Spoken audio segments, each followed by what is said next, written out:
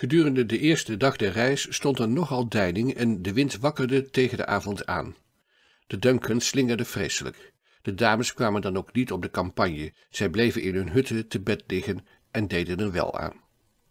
Maar des andere daags keerde de wind. Kapitein John zette de fok, de bazaan en het voormastzeil bij, waardoor op de Duncan, die nu vaster lag, het slingeren en stampen minder merkbaar werd. Lady Helena en Mary Grant konden nu reeds bij het krieken van de dag Lord Gleneuven, de majoor en de kapitein op het dek opzoeken.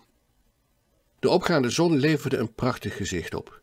De fakkel van de dag, gelijk aan een op de manier van Rouaults vergulde metalen schijf, verrees uit de oceaan als uit een onmetelijk galvanisch bad. De Duncan scheen zich in het midden van een heerlijke stralengloed te bevinden, en men zou waarlijk gezegd hebben dat haar zeilen opzwollen onder de werking der zonnestralen. In de diepste stilte zagen de passagiers van het jacht deze verschijning van het flonkerende hemellichaam aan. Welk een heerlijk schouwspel, zeide eindelijk Helena. Het voorspelt een schone dag. Ik hoop dat de wind gunstig blijft en de vaart der Duncan niet vertragen zal. We kunnen geen betere wensen, lieve Helena, antwoordde Lord Gleneuven. We hebben geen reden om over dit begin onze reis te klagen. Zal het toch lang duren, lieve Edward? Dat zou kapitein John ons wel kunnen zeggen, sprak Lord Gleneuven. Vorderen wij goed. Zijt gij tevreden over uw schip, John? Zeer tevreden, uw edelheid, antwoordde John. Het is een uitmuntend vaartuig en het doet een zeeman goed het onder zijn voeten te voelen. Nooit waren de romp en de machine van enig vaartuig beter met elkaar in verband. Gij ziet ook hoe effen het zog van het jacht is en hoe gemakkelijk het de golven klieft. We vorderen 17 mijlen in een uur. Als deze snelheid zo blijft, passeren wij binnen 10 dagen de linie en zullen wij, eer wij vijf weken verder zijn, Kaap Hoorn omgezeild hebben. Hoort ge het, Mary? Eer we vijf weken verder zijn, hernam Lady Helena. Ja, mevrouw, antwoordde het meisje, ik hoor het en mijn hart heeft geklopt bij dat gezegde van de kapitein. Kunt ge nogal tegen de zee, Miss Mary?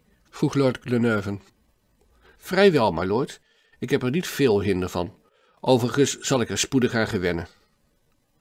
En de jonge Robert? Oh, Robert, antwoordde John Mangles. Als hij niet bij de machine is, dan zit hij op de kloot van de mast. Dat is eerst de jongen die om geen zeeziekte geeft. Ziet maar eens. Op een gebaar van de kapitein wenden alle de ogen naar de fokkenmast en zagen daar Robert hangen aan de toppenanten van het klein voorboven bramzeil, wel honderd voet boven het dek. Mary kon een angstig gebaar niet weerhouden. Oh, wees maar gerust, miss, zeide John Mangles. Ik sta voor hem in en beloof u kapitein Grant spoedig een wakkere knaap te zullen voorstellen, want wij zullen de waardige kapitein terugvinden. Dat geven de hemel, meneer John, antwoordde het meisje. Lief kind, hernam Lord Gleneuven, ik merk in dit alles de vinger gods op en dat moet ons goede hoop geven. We gaan niet, we worden gezonden. We zoeken niet, we worden geleid. En sla dan eens even het oog op al die moedige mannen in dienst van zulke een schone zaak. We zullen niet alleen in onze onderneming slagen, maar haar zelfs zonder moeite volbrengen. Ik heb Lady Helena een plezierreisje beloofd en ik zou mij zeer bedriegen als ik mijn woord niet hield. Ge zijt een allerbeste man, Edward, zei Lady Gleneuven. Volstrekt niet, maar ik heb de allerbeste bemanning op het allerbeste schip. Bewondert gij onze Duncan ook niet, Miss Mary? Zeker, my lord, antwoordde het meisje. Ik bewonder haar, en wel als een deskundige. Zo, inderdaad. Als een klein meisje speelde ik op de schepen mijns vaders. Hij had mij voor de zeedienst moeten opleiden, en in geval van nood zou ik misschien niet verlegen staan om een rif in te steken of een sijzing te draaien. Wat gezegd, miss, riep John Mangles. Nu gij zo spreekt, hernam Lord zult ge wel bevriend worden met kapitein John, want hij kan maar niet toegeven dat er een schoner beroep is dan dat van zeeman, zelfs niet voor een vrouw. Is het niet waar, John? Zonder twijfel, uw edelheid, antwoordde de jonge kapitein. En toch beken ik dat Miss Grant beter op haar plaats is op de campagne dan in de mast op de zeilen te bergen. Maar ik ben niettemin zeer gevleid door haar gezegde. En vooral wanneer zij de Duncan bewondert, hervatte Gleneuven. Die het ten volle verdient, antwoordde John. Gij zijt zo trots op uw jacht, zeide Lady Helena, dat ik waarlijk lust krijg om het eens tot het onderste scheepsruim toe te bezichtigen en te zien hoe onze wakkere matrozen tussendeks gehuisvest zijn. Heel goed, antwoordde John. Ze zijn daar als het ware te huis. En ze zijn inderdaad te huis, lieve Helena, antwoordde Lord Glenarvan. Dit jacht is een gedeelte van ons Oud-Caledonië. Het is een losgerukt stuk van het graafschap Dumbarton dat door een bijzondere gunst blijft drijven, zodat we ons land niet verlaten hebben. De Duncan is het kasteel Malcolm en de oceaan is het meer Lomens. Als dat zo is, lieve Edward, houd dan de eer van uw kasteel op, antwoordde Lady Helena. Ik ben tot uw dienst, mevrouw, zei de Gleneuven, maar sta mij toe dat ik vooraf Obidet ga waarschuwen. De hofmeester van het jacht was bij uitstek voor zijn betrekking geschikt, en zulk een man van gewicht dat hij, hoewel een Schot, verdiend zou hebben een Fransman te zijn. Overigens iemand die zijn post met ijver en overleg vervulde. Hij wachtte de bevelen van zijn heer af. Obinet, we gaan voor het ontbijt een wandeling doen, zei de Gleneuven, alsof er sprake was van een uitstapje naar Tarbert of het meer Katrien. Ik hoop dat de tafel gereed zal zijn als wij terugkomen. Obinet maakte een deftige buiging. Gaat gij mede, majoor? vroeg Lady Helena.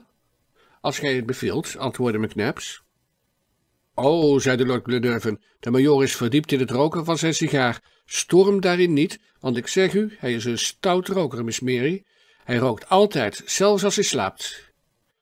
De majoor maakte een toestemmende beweging en Lord Glenarvan en zijn gasten gingen naar het tussendek. Toen McNabbs alleen gebleven was, praatte hij, oude gewoonte, in zichzelf, maar zonder zich ooit tegen te spreken, terwijl hij zich in nog dichter rookwolken hulde. Hij bleef stokstijf staan en keek op het achterschip naar het zog van het jacht. Na zo enige minuten uitgezien te hebben, keerde hij zich om en zag nu een ander persoon voor zich staan. Als iets zijn verbazing had kunnen opwekken, dan zou de majoor zeker over deze ontmoeting verwonderd geweest zijn, want die passagier was hem geheel onbekend. Die grote, dorre en magere man was misschien veertig jaren oud. Hij geleek op een lange spijker met een grote kop. Zijn hoofd was breed en fors, zijn voorhoofd hoog en schrander, zijn kin spits, zijn mond groot, zijn neus sterk gebogen. Zijn ogen waren geborgen achter een verbazend grote ronde bril, en zijn blik scheen die onvastheid te hebben welke aan de nachtziende eigen is. Verstand en opgeruimdheid stonden op zijn gelaat te lezen. Hij had geen zins dat terugstotend voorkomen van die deftige personen, die uit beginsel nooit lachen en die hun onbeduidendheid onder een ernstig masker verbergen. Verre vandaar, de zorgeloosheid en de bemiddelijke eenvoudigheid van die onbekende bewezen duidelijk dat hij gewoon was mensen en zaken van de beste kant te bezien. Maar eer hij nog gesproken had, gevoelde men dat hij een prater en vooral zeer afgetrokken was, zoals degene die het voorwerp niet zien, die zij beschouwen, en die de woorden niet verstaan, die zij horen. Hij droeg een reispet, sterke gele laarsjes en lederen slopkousen, verder een kastanjebruine fluwelen broek en een jasje van dezelfde stof, waarvan de ontelbare zakken opgepropt vol schenen te zijn met aantekeningenboekjes, zakboekjes, schrijfboekjes, privétassen en duizend andere voorwerpen, die even lastig als nutteloos waren, zonder nog te spreken van een kijker die hij aan een riem droeg. De rusteloosheid van die onbekende stak sterk af bij de kalmte van de majoor. Hij liep om McNabbs heen en zag hem vragend aan, zonder dat deze moeite deed om te weten te komen van waar hij kwam, waar hij heen ging en waarom hij aan boord van de Duncan was. Toen die raadselachtige persoon zag dat al zijn pogingen verijdeld werden door de onverschilligheid van de majoor, nam hij zijn kijker, die wel vier voet lang was, en onbewegelijk, met de beide benen wijd van elkander gaande staan, zodat hij wel een wegwijzer op de grote weg geleek, richtte hij het werktuig op de lijn waar lucht en water ineenliepen.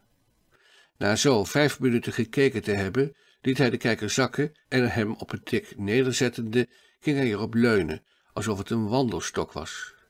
Maar dadelijk schoof de kijker toe en de nieuwe passagier, die zo plotseling zijn steunpunt kwijtraakte, viel bijna, zo lang als hij was, aan de voet van de bezaansmast. Ieder ander in de plaats van de majoor zou althans geglimlacht hebben, maar de majoor vertrok geen spier van zijn gelaat. Nu kwam de onbekende opeens tot een besluit. Hofmeester, riep hij met een tongval, die duidelijk de vreemdeling verried. Hij wachtte, maar tevergeefs, er verscheen niemand. Hofmeester, riep hij nog eens, maar nu wat luider. Obidet, die zich naar de keuken onder de voorplecht begaf, ging juist voorbij, Men kan denken hoe verwonderd hij was toen hij zich zo hoorde aanspreken door die lange man die hij niet kende. Wat is dat voor iemand, zeide hij bij zichzelf, een vriend van Lord Glenarvan?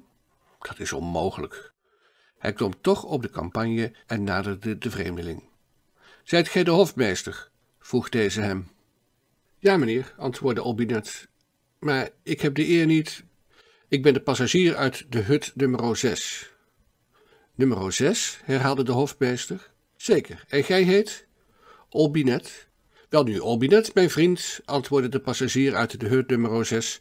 Ik moet om mijn ontbijt denken, en wat gauw ook. In geen 36 uur heb ik iets gegeten. Of liever, ik heb 36 uren achtereen geslapen, hetgeen wel te vergeven is aan iemand die zonder op te houden van Parijs naar Glasgow gereisd is. Wees zo goed mij te zeggen hoe laat men hier ontbijt. Ten negen uren, antwoordde Olbinet werktuigelijk. De vreemdeling wilde op zijn horloge zien, maar daarmee ging heel wat tijd weg, daar hij het eerst in zijn negende zak vond. Goed, zeide hij, het is nog geen acht uren. Kom aan, Albinet, geef me dan intussen een beschuit en een glas xereswijn, want ik sterf van de honger. Albinet begreep er niets van. Bovendien praatte de onbekende maar onophoudelijk door en sprong met buitengemene radheid van het ene onderwerp op het andere.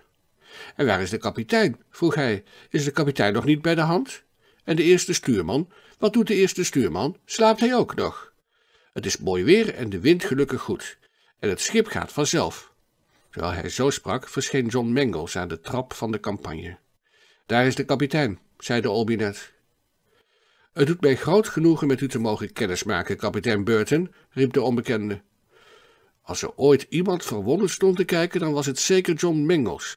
Niet minder omdat hij zich kapitein Burton hoorde noemen, dan omdat hij de vreemdeling op zijn schip zag. De ander babbelde maar voort. Veroorloof mij uw hand te drukken, zeide hij, dat ik het eergisteravond niet gedaan heb, komt omdat ik op het ogenblik van het vertrek niemand wilde hinderen. Maar nu, kapitein, ben ik waarlijk blij kennis met u te maken. John Mangles zette grote ogen op en zag nu eens Olbinet en dan weer de onbekende aan. Nu is de voorstelling afgelopen, waarde kapitein, hernam hij, en zijn wij oude vrienden. Laten wij nu samen wat praten. En zeg mij eens of gij in uw schik zijt met de Scotia. Wat bedoelt gij met de Scotia? zeide John Mangles eindelijk. Wel, de Scotia, waarop wij thans zijn. Een goed vaartuig, welks voortreffelijkheid men niet minder roemt dan het karakter van zijn zagvoerder, de brave kapitein Burton. Zijt gij misschien verwant aan de grote Afrikaanse reiziger van die naam? Een moedig man. Als dat zo is, maak ik u mijn compliment. Meneer, hernam John Mangles, ik ben evenmin een bloedverwant van de reiziger Burton als ik kapitein Burton zelf ben. Zo, zeide de onbekende. Spreek ik dan op dit ogenblik met de eerste stuurman der Scotia, de heer Burtness? De heer Burtness, antwoordde John Mangles, die de waarheid begon te vermoeden en niet wist of hij met een gek of met een losbol te doen had. Hij wilde juist een kort en bondig antwoord geven toen Lord Glenarvan, zijn vrouw en Miss Grant weder op het dek kwamen. Zodra de vreemdelingen het bemerkte, riep hij uit, Ha, passagiers, dames, dat treft goed. Ik hoop dat gij mij zult voorstellen, meneer Burness. En met de grootste onbedwongenheid nader tredende, zonder de tussenkomst van John Mangles af te wachten, sprak hij Miss Grant aan als mevrouw, Lady Helena als Miss en noemde hij Lord Glenarvan meneer. Lord Glenarvan, zeide John Mangles. My lord, hernam nu de onbekende, vergeef mij dat ik mijzelf zo voorstel, maar op zee kan men alle vormen zo niet in acht nemen. Ik hoop dat wij spoedig kennis zullen maken en dat door het bijzijn deze dames de reis met de Scotia evenzeer verkort als veraangenaamd zal worden. Lady Helena en Miss Grant wisten niet wat ze zeggen moesten. Zij begrepen niets van de tegenwoordigheid van die indringer op de campagne der Duncan. Met wie heb ik de eer te spreken, meneer? vroeg eindelijk Lord Glenarvan. Met Jacques Eliassine François Marie Paganel, secretaris van het Adreskundig Genootschap te Parijs, corresponderend lid der genootschappen te Berlijn, Bombay, Darmstadt, Leipzig, Londen, Petersburg en New York, honorair lid van het Koninklijk Instituut voor de Land- en Volkenkunde van Oost-Indië, die, na twintig jaren doorgebracht te hebben met de adreskunde in zijn studeerkamer te beoefenen, nu tot de strijdende wetenschap overgaat en zich naar Indië begeeft om verband te brengen in de arbeid der grote reizigers.